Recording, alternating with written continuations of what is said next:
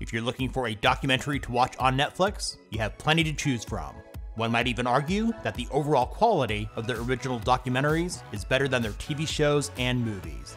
Coming up, I'll give you our picks for the top 10 Netflix documentaries that you can watch right now. In a change from last year's video, this countdown will only focus on the best original documentary films and docuseries which are exclusive to Netflix. With that out of the way, let's get started.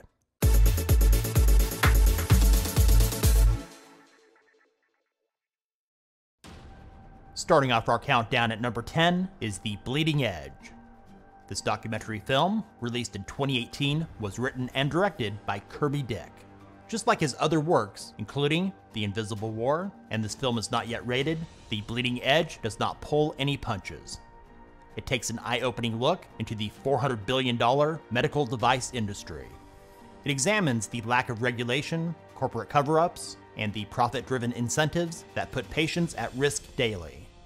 While some of the details are horrific, it's a must see film that I highly recommend for everybody to watch.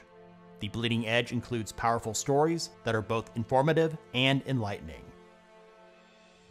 And at number 9 is Conversations with the Killer, the Ted Bundy tapes.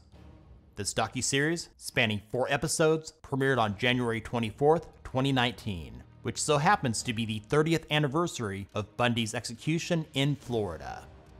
The series is done chronologically, beginning with Bundy's early life up until his death. It includes the 1980 death row interviews with the serial killer himself, Ted Bundy. There are also interviews with his family and friends, surviving victims, and law enforcement members, along with archival footage, personal photos, and police evidence that give additional insight into Bundy's case. Coming in at number 8 is Fyre, the greatest party that never happened.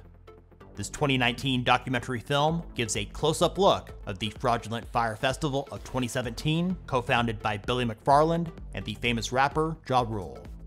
It was promoted as a luxury music festival on an island in the Bahamas with posh amenities and well known musical performers. Let's just say that the reality for the arriving guests was not what was promised. In the number 7 spot is Evil Genius, the true story of America's most diabolical bank heist. Released in 2018, spanning four episodes, this true crime docuseries examines the crazy events leading up to and following the well publicized 2003 bank robbery in Pennsylvania, where a pizza delivery driver literally had a bomb strapped to his neck. It's now known as the Pizza Bomber case. Evil Genius features a strange cast of characters, including the so called mastermind, Marjorie Diehl Armstrong, and there are plenty of twists and turns. Switching gears to something completely different, Formula One Drive to Survive lands at number 6. This 10 part documentary series premiered in March of 2019. It gives an inside look of the 2018 FIA Formula One World Championship. There's exclusive access to the drivers, team principals, owners, and other key players in Formula One. As a Formula One junkie, I couldn't wait to start each new episode. Even if you're not a fan of F1, it's worth watching.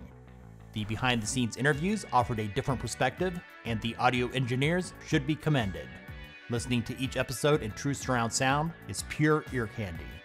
Formula One Drive to Survive has been renewed for a second season to premiere in 2020. In the number 5 spot is Icarus. This Academy Award winning documentary film by Bryan Fogel was released in 2017. It follows Fogel as he investigates the world of illegal doping in sports. The story takes off when Fogel meets a Russian scientist who leads the Russian anti doping laboratory.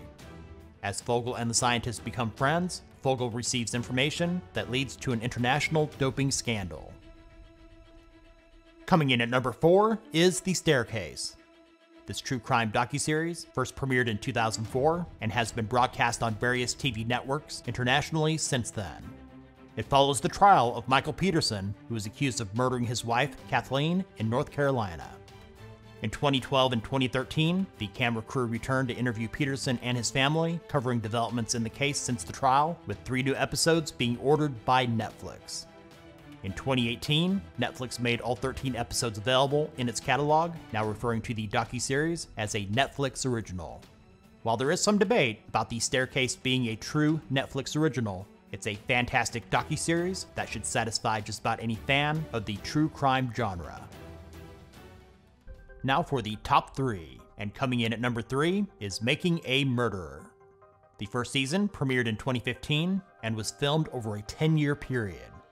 It follows a Wisconsin man named Steven Avery who served 18 years in prison for a wrongful conviction and was set free when the DNA was matched with another man. After getting out of prison, Steven works to expose the corruption in the local law enforcement and again finds himself to be the prime suspect in a new crime. The second season premiered in 2018, which explores the aftermath following the conclusion of the first season.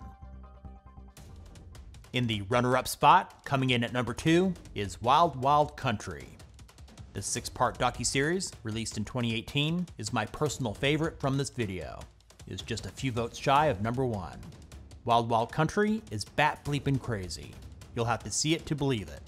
It's about the controversial Indian guru, Bhagwan Shree Rajneesh, his followers, and his one-time personal assistant, Ma Anand Sheela. During the 1980s, they built the seemingly utopian city of Rajneeshpuram in a remote part of Oregon here in the United States. After which, there were assassination plots, a hotel bombing, illegal wiretapping, and at that time, the largest bioterrorism attack in US history. I'll warn you right now, this is a highly addictive show that will have you hanging on every twist and turn through all six episodes. In the top spot, coming in at number one, is Our Planet. This nature documentary series was released in 2019 and is from the same people who brought you the critically acclaimed Planet Earth. Our Planet is narrated by David Attenborough in English speaking countries. In Mexico and Latin America, you get Salma Hayek, and in Spain, Penelope Cruz is your narrator. It was filmed in 50 countries over the course of four years. As you would expect, the visuals in Our Planet are stunning. There's a total of eight episodes covering the frozen tundras, deserts, the oceans, jungles, and everything in between. But the most interesting to me is the hour long behind the scenes episode, which can be found in the Our Planet Trailers and More section on Netflix. Thanks for watching. If this video helped you to find something new to watch, give it a thumbs up. What is your favorite Netflix original documentary? Let us know about it in the comments. And if you're new to this channel, subscribe and ring the bell to stay up to date with the latest on Netflix and other tech related stuff here on Tech Gumbo.